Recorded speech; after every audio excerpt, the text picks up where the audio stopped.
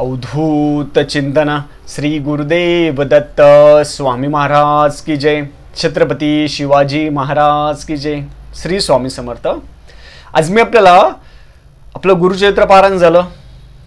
जे नवीन सेवेकरी आहे जे जुने आहे नवीन जुने महाराजांपाशी महाराजांजवळ असं काही नाही आहे पण महाराजांची श्री स्वामी समर्थ महाराजांची सेवा कशी करावी? कोणत्या पद्धतीने करावी योग्य पद्धत कोणती आहे त्याच्याबद्दल मी आज आपल्याला माहिती सांगण्याचा प्रयत्न करतो. चॅनलवर पहिल्यांदा आला असेल आपण तर अवश्य सबस्क्राईब करा. म्हणजे येणारे नवीन व्हिडिओ श्री स्वामी समर्थ महाराजांचे गुरुचरित्राचे त्याची सगळी माहिती आपल्याला भेटेल. आता काही काही जण कसे असतात? हौशे नवशे गौशे. म्हणजे काय? कोणी सांगितलं म्हणून महाराजांची सेवा करतं कोणी कोणाला अनुभव आला म्हणून आपण महाराजांची सेवा करतो. कोणाची इच्छा असते म्हणून महाराजांची सेवा करतो आणि कोणी असेच येतात फक्त. नुसतं बघायला. हौशे नवशे गवशे हे चार पाच प्रकार आहे पण आपण महाराजांची सेवा कशी करायची? जे नवीन सेवेकरी आहे जे जुने आहे कशी करायची महाराजांची सेवा? भरपूर ताई आम्हाला सांगते की आमच्या घरामध्ये मांसाहार होतो नॉनव्हेज होतो. आमच्या घरी दारू वेगवेगळ्या गोष्टी असतात भांडणं असतात मांसाहार होतो. मग आम्ही महाराजांची सेवा करायची का नाही करायची? बंद करायची का? त्याचं एक साधं आणि सरळ उत्तर असं आहे महाराजांनी पण सांगितलेलं आहे की कसं असतं आपण काही काही जण म्हणतात आमच्या घरात महासार होतं म्हणून ते महाराजांची सेवाच करत नाही सोडून देता तसं आता अजिबात करायचं नाही. गुरुक्षेत्र पारायण केलं नाही केलं झालं पण आपण महाराजांच्या याच्यामध्ये आला आपल्याला वाटते महाराजांची सेवा करावी पण आपल्याला माहीत नाही की कशी करावी एक्झॅक्टली महाराजांची सेवा करायला काहीही लागत नाही आपल्याला. सगळ्यात पहिली गोष्ट आपलं मन निर्मळ पाहिजे. आपलं अंतकरण स्वच्छ पाहिजे. आणि महाराजांची सेवा आपण नामस्मरण करायचे जास्त. सगळ्यात अगोदर काय करायचं? आपल्या घरामध्ये फोटो नसेल महाराजांचा तर श्री स्वामी समर्थ महाराजांचा कोणताही फोटो मी असं म्हणत नाही आपल्याला हाच फोटो पाहिजे किंवा तोच हे मी कधीही सांगणार नाही. माझ्यासाठी महाराज महत्त्वाचे बाकी काही नाही. महाराजांचा कोणताही फोटो घरामध्ये आणा. घरात असेल तर अतिउत्तम. घरात नसेल कोणताही छोटा मोठा कोणताही फोटो आणा. देवघरामध्ये स्थापन करा. त्याला महाराजांना रोज नैवेद्य दाखवायचा. रोज नैवेद्यामध्ये काय दाखवायचं आम्ही? हे बघा महाराजांना भा भाजी भाकरी जरी दाखवली ती पण प्रिय आहे. पण अंतकरणातून दाखवायची. आपण सकाळी जे डबा करणार ते महाराजांसाठी एक पोळी चपाती भाजी महाराजांच्या नावाने बाजूला काढून ठेवायची.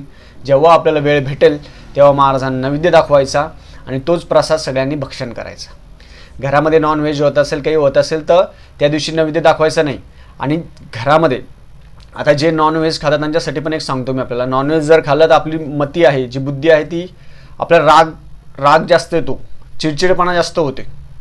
घरामध्ये वादविवाद होता. म्हणून शक्यतो खाणं टाळावं. हळूहळू टाळा. पण घरामध्ये नॉन व्हेज होतं मग आम्ही महाराजांची सेवा करायची नाही का? नाही महाराजांची सेवा करायची. त्यांना ज्यांना खायचं खाऊ द्या तुम्ही ना खाऊ.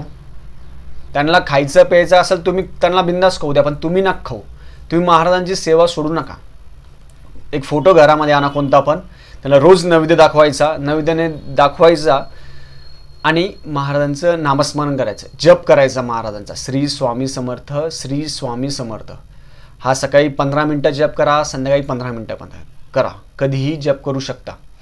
जप करण्यासाठी कोणतंही बंधन नाही काळ वेळ असा कोणताही नाही.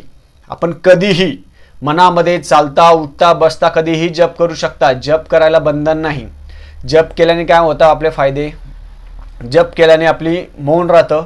आपण अनावश्यक बोलत नाही मनामध्ये वाईट विचार येत नाही. महाराज आपल्यासोबत असतात. आणि जप करायचं स्वामीचरित्र जर वाचता येत असेल तर स्वामीचरित्र आपण वाचू शकता. रोज तीन अध्याय घेऊ शकता. आणि रोज जे नैवेद्य आहे सकाळ संध्याकाळ महाराजांना नैवेद्य दाखवायचं. आपण बेसिक लेवलला एवढी जरी सेवा केली तर महाराजांपर्यंत ती सेवा जाते. अजून नवीन दुसरं असं काही करायचं असं काहीच नाही महाराजांना सगळ्यात पहिले आपल्या हृदयात साठवा. हृदयात साठवल्या आपल्या घरामध्ये महाराजांचा फोटो ठेवा. त्यांना रोज नैवेद्य दाखवा सकाळ संध्याकाळ. प्रॉब्लेमच्या पाच दिवसात कोणतीही सेवा करायची नाही कोणताही नैवेद्य दाखवायचं नाही. आणि मनामधली आपली नॉनव्हेजची भीती जी असेल ते सगळं काढून टाका. बाकीच्यांना खाऊ द्या तुम्ही ना खाऊ तुम्ही महाराजांना नैवेद्य दाखवू शकता. आपला साधा पोळी भाजीचा.